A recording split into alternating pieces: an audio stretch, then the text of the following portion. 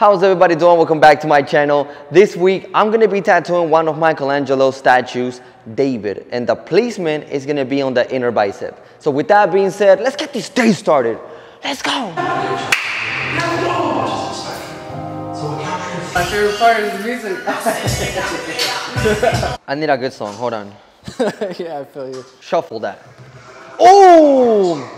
No les conviene que sea tu enemigo. Prendo la vela, luego me persino. El rosario en el cuello y camino por los callejones de la Santa Fe de noche. En las calles con la rola está todo en el coche. Le vuelvo la cumbia nada más que cerrar con broche. you got it, chill, bro. Damn, that was a lot. That was a lot of hypeness. It's a lot of energy there. All right. This armpit gotta go, bro. I have uh, stitches. You have stitches on your armpit? Yeah, I got uh, some kid dared me to jump off my garage to the floor. Your, your what? Your garage? Like the garage roof, we were on the roof, Uh huh. and he he told me he would give me a Pokemon card. This For is- a Pokemon card, this is- this is back then. Damn. This- okay.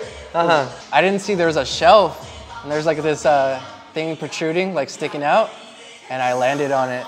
Like, Land, straight up landed on it. I think you can see it. oh, damn, that's a big ass scar. I know. What happened to the kid that dared you to do that? Uh, I don't know, but he never gave me my card. What the? You know that reminds me? Bro, gotta- you gotta search him up on Facebook or Instagram. Be like, yo, where's my fucking Pokemon card, bro? yeah, I kind of want to leave. I kind of want to leave this little area of hair Yeah, yeah, yeah. just because it looks funny, bro. Do you think? I've never really shaved my armpits ever. No. There you go. You're It welcome. might, it might be the, the new fit going forward. Hey. Yeah, what's the purpose of armpit? Uh, the purpose of armpits to hold your torso and your arm together, maybe. I mean, yeah, armpit hair. All right, I'm a, I have to shave the whole thing. It's not gonna look right. yeah. Cause see, the thing is that if I was to leave it and then uh, I was to post the video, Yeah. all the focus is gonna go towards. Wait, why didn't he shave the whole armpit? Was he that lazy that he didn't want to shave it? You know, and I'm over here like I just thought it looked funny, bro. to leave a little bit of hair there. The way I'm looking at the whole entire thing here is, um, at first my initial thought was like, you know what, just place it just like that, you know, uh, lined up with the whole arm. But I feel like it it's not gonna look right because it's such a tight area that I need to tilt it a little bit and give it more more style to the whole thing.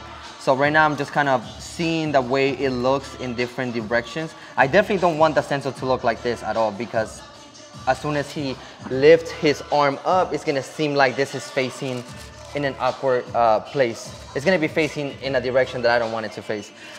I put on enough stencil that way whenever the I put on the stencil, it doesn't smear everywhere. So right now I can barely feel the stencil, that's perfect. So I like to, that way it doesn't smear everywhere. Okay, here we go.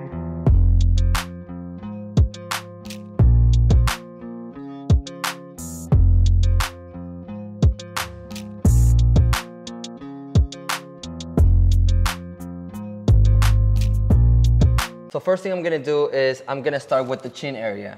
With the chin area, it is, on my reference, it is very light. I ended up making the contrast darker, so I'm able to grab the highlights and the darker areas and bring them to a different light source.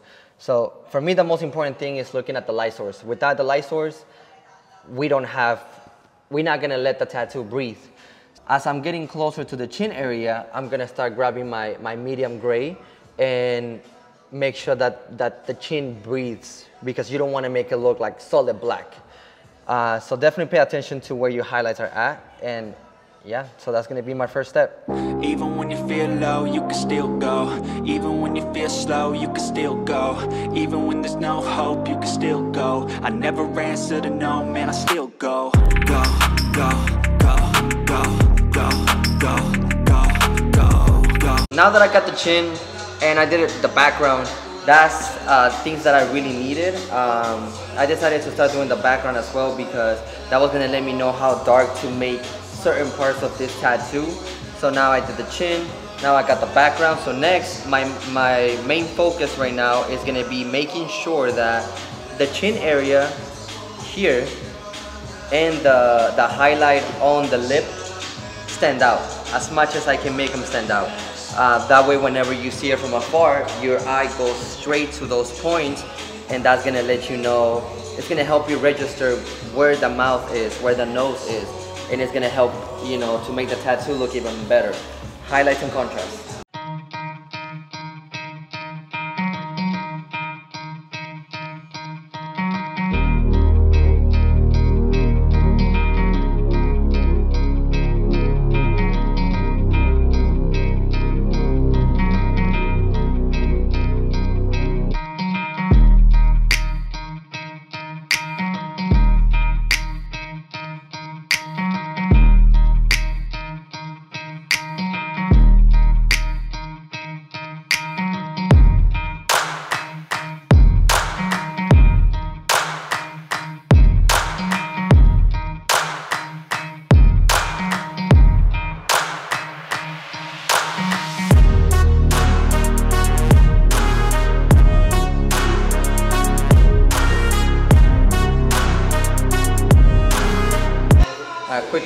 Uh, I am now doing the cheek area uh, of the statue. Uh, so one thing I'm noticing that I'm doing and that I think it's important, I, so here I'm grabbing my medium gray and what I'm doing here is doing texture. I'm using my 14 round liner. The brand is Ambition.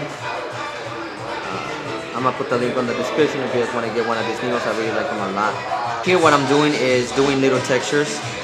My voltage is about 5.0 and as I get closer to the line that I made here on my stencil, as I get closer to that, I am gonna start separating the dots and the texture, the scribbles, the lines. That way it gives me space to start applying my lightest gray. Because if I keep doing this, it's not gonna be consistent.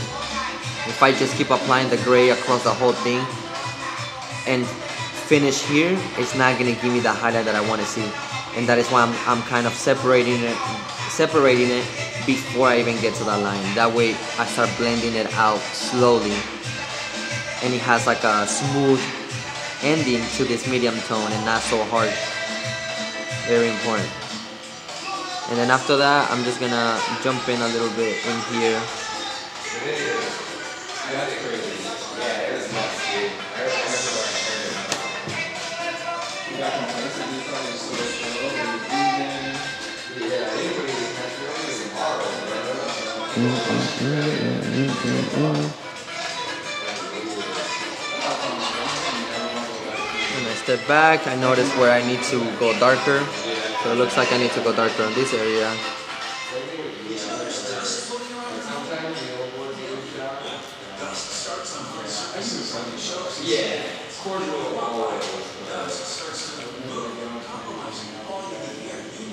There you go. A nice stretch. That way it's easier to pack in these little textures.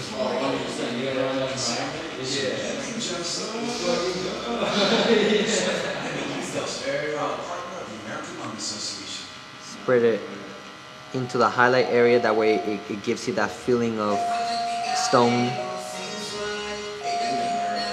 Oh, mía, ella me la puedo imaginar. Voy a preguntar por cuando se agita.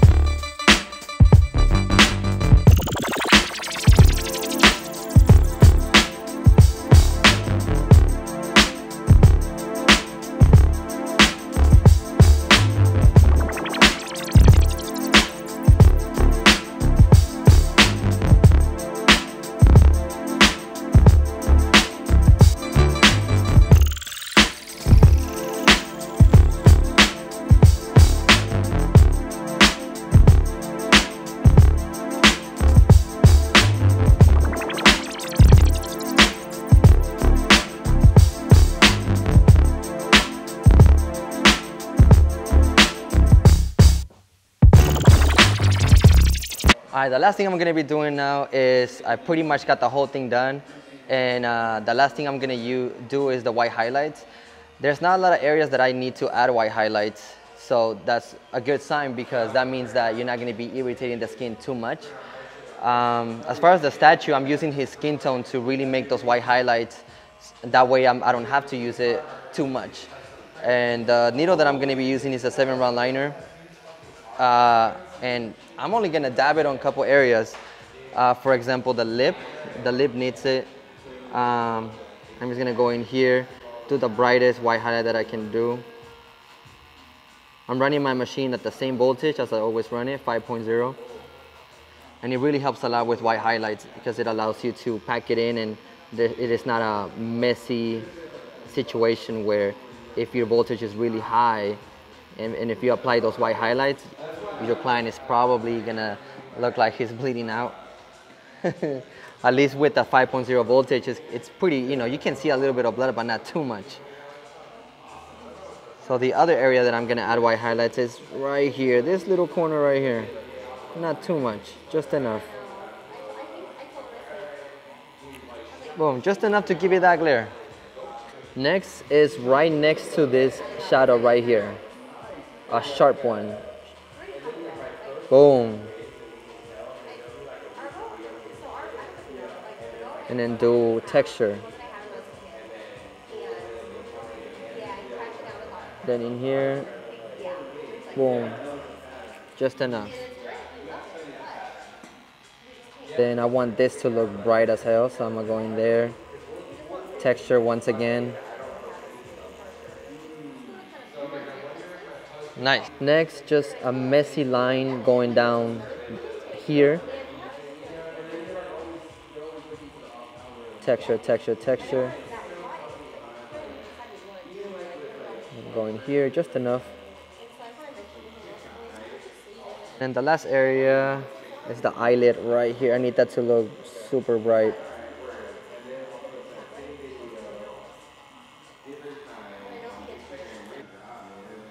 There you go, just enough.